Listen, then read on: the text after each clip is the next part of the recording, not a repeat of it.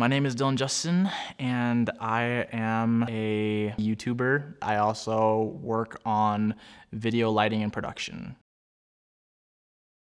A thumbnail photo is a photo that when someone's looking on something like YouTube or social media, it is the first thing that kind of catches the attention of the viewer. Without the thumbnail, doesn't really give any sort of background context to what the viewer is looking at, and it's really helpful in the social media marketing world so that anyone can immediately just see your content and be like, oh, I know exactly what you're talking about.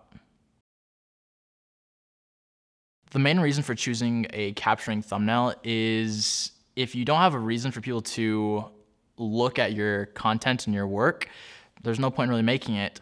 It's kind of like having the world's best book, but only a white cover.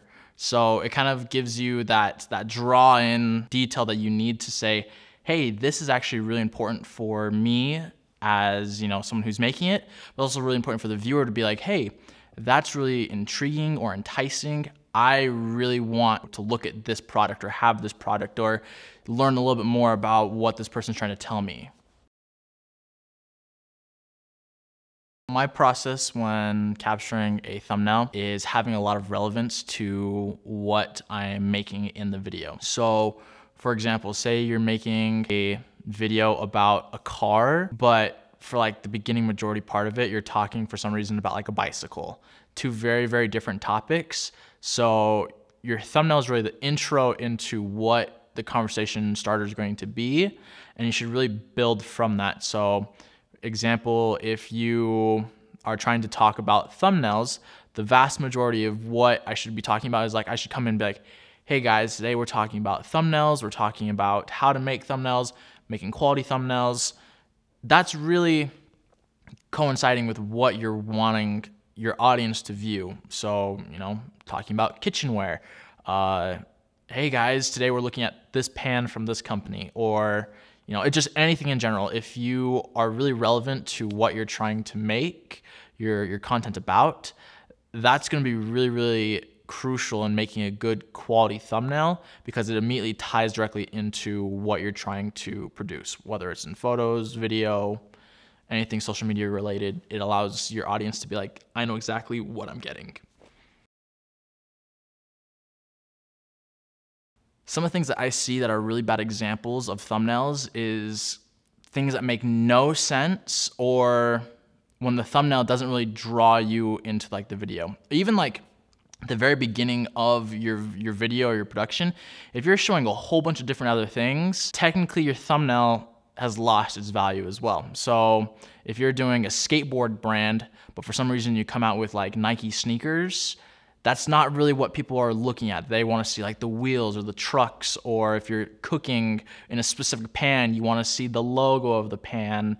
So the thumbnail really needs to tie into what you're trying to sell to the people you're working with. Some other bad things that I see when people are making thumbnails, there's a whole bunch of things in the frame. Going back to a cooking pan, if you're showing the sauces, a a cool loaf of bread, all these things that don't really relate to the pan, it's really gonna lose the attention of your audience. So really kind of narrow it down to say this is what we should be focusing on and we don't really want to care about anything else after that. What really helps stand out for a specific thumbnail or even thumbnails I see, you know, from other content creators is the thumbnail matches the same person continuously. A famous person to look up on YouTube that does gear review of cameras or lighting or things that like I'm interested in. One of the things that he always has is he's known for having a purple background. His name's Gerald Undone. I mean, if you go and look up a camera view or a lighting view, if you see a thumbnail that has a purple background behind it, without even looking at who made it, I can tell you that it's that person.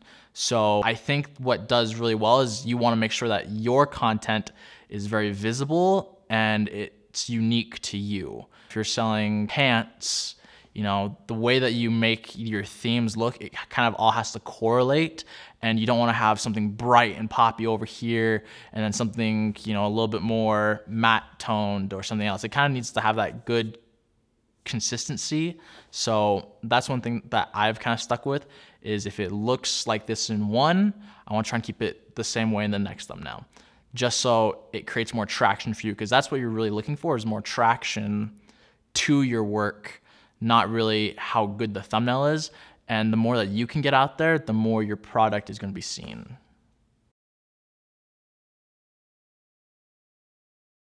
When thinking about making a thumbnail and in regards to lighting with it, um, kind of like this, we have a whole bunch of different lights all over the place.